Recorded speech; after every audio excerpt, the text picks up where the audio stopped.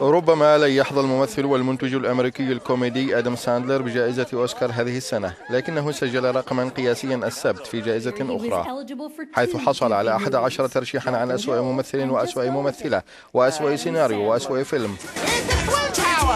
الترشيحات تأتي ضمن جوائز راتسي عن أسوأ أفلام وأداء للعام 2011 ساندلر نال الترشيحات السيئة عن دوره في فيلم جاك أند جيل حيث لعب دور الذكر والأنثى في الفيلم. حتى الممثل آل باتشينو ذكر في ترشيحات راتسي بصورة شائنة حول مشاركته المتواضعة في فيلم جاك أند جيل ونال ترشيحه حول جائزة أسوأ ممثل مساعد. وفي فئة الأفلام حصل فيلم تويلايت ساغا على ثمانية ترشيحات منها أسوأ فيلم وأسوأ تمثيل للممثلين تيلور لوتنر وكريستين ستيوارت وكذلك فيلم عشية رأس السنة الجديدة Are you amazed? Check. Who are you gonna kiss at midnight? So you went out for a slice of pizza, right? And you may have just run into the one.